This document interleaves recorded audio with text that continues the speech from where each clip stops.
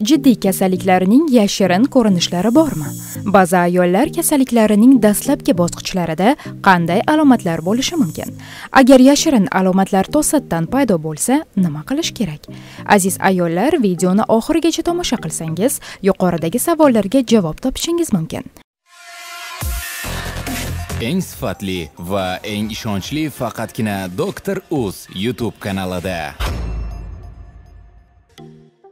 Aksariyat hatto eng jiddiy kasalliklar ham asta sekin rivojlanib boradi. Dastlab ko'pincha kasallikning o'ziga xos belgilari bo'lmaydi xo'sh jiddiy kasalliklarning yashirin ko'rinishlari qanday bo'ladi? Ba'zi hollarda kasallikning boshida o'ziga xos bo'lmagan belgilar qayd etiladi. Ular a'zolar va tizimlar faoliyatining aniq buzilishlarini keltirib chiqarmaydi. Ma'lum bir a'zoning shikastlanishini bildirmaydi lekin har doim tanada biror bir muammo borligini bildiradi. Ushbu kichik alomatlar sizni intensiv davolanishni talab qiladigan og'ir kasallik haqida ogohlantirishi mumkin. Shu tarzda turli xil onkologik kasalliklar va surunkali yallig'lanish jarayonlari boshlanishi mumkin. Bu nafaqat disfunksiyaga balki a'zo yoki tizim faoliyatida jiddiy buzilishlarga olib keladi. Aslida ichki a'zolarga zarar yetishiga yo'l qo'ymaslik ayniqsa muhimdir. Sababi bu yoshlarda bepushtlik yoshi kattaroqlarda esa onkologik kasalliklar rivojlanishiga olib kelishi mumkin. Mazkur video ayollar salomatligi haqida ekanligi hamda faqat ayollar uchun mo'ljallanganligini yana bir bor eslatib o'tib mavzuni davom ettiramiz. Ayollarda ba'zi kasalliklarning dastlabki bosqichlarida qanday alomatlar bo'lishi mumkin? Keling ayollar e'tiborsiz qoldirmasliklari kerak bo'lgan yetti xil alomatni ko'rib chiqamiz. Birinchi alomat tez tez hojatga borish nafaqat sistitning namoyon bo'lishi balki gormonal kasalliklar qandli diabet disbioz va kandidozning alomati ham bo'lishi mumkin. Bu qanday holatda namoyon bo'ladi degan savol tug'iladi.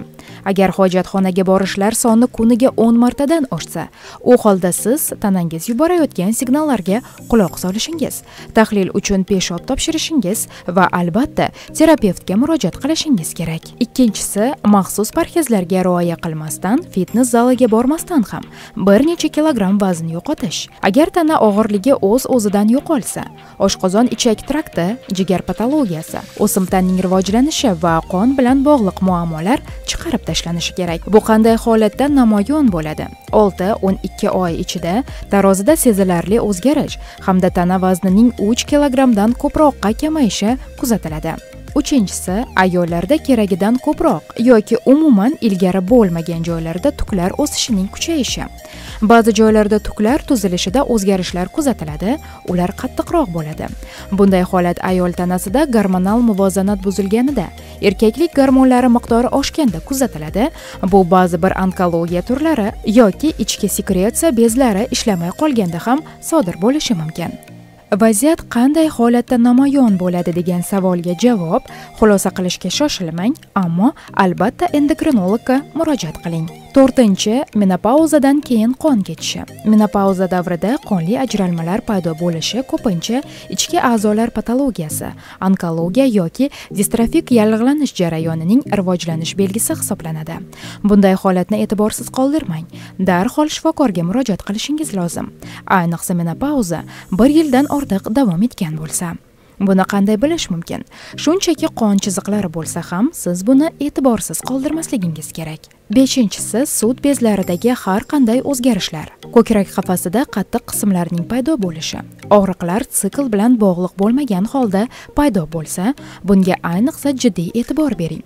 Buni qanday aniqlash mumkin? To'qima deformatsiyasi og'riqlar kuzatiladi. Oltinchisi zamburug' infeksiyasi mikrofloraning faollashishini ko'rsatishi mumkin. Xo'sh bu qanday holatda namoyon bo'ladi?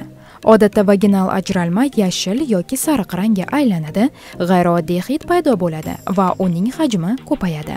Yettinchisi doimiy zaiflik charchoq hissi. Hatto ertalab ham quvvat hamda samaradorlik yo'qligi. Yomon ishtaha bezovta uyqu. Bularning barchasi tanadagi jiddiy o'zgarishlarning alomatlari bo'lishi mumkin. Anemiyadan boshlanib onkologiya bilan tugash ehtimoli ham bor. Bu buchi qanday holatda namoyon bo'ladi? Doimiy uxlash istagi yaqinlar yoki do'stlar bilan dam olish xohishining yo'qligi. Tongda yangi kunni kutib olish istagi emas balki yotoqda yotishni davom ettirish xohishining paydo bo'lishi. Ushbu alomatlar ba'zida shunchalik sodir bo'lmaydi balki tanada patologiya paydo bo'lishi tufayli namoyon bo'ladi. Agar bu kabi yashirin alomatlar to'satdan paydo bo'lsa nima qilish kerak degan savol tug'iladi. Agarda tanangizda sodir bo'layotgan biror bir narsa sizga yoqmasa unda bu holatni bir muncha vaqt kuzating. Ehtimol bu holat aynan bir vaziyatga bog'liqdir va tez hal qilinar. Ammo agar noxush holat kundan kunga takrorlansa unda siz albatta shifokor bilan maslahatlashishingiz kerak. Biz esa sizlarga o'zingiz va sog'ligingizga befarq bo'lmang. Tanangizning chaqiruvlarini e'tiborsiz qoldirmang deb qolamiz. Doktor o'z kanalida yana bir bor ko'rishguncha salomat bo'ling. thank you.